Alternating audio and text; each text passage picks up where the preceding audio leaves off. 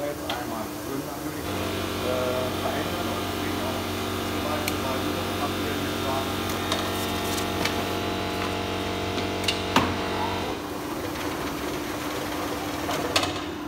Jetzt kommt er zweimal. Ne?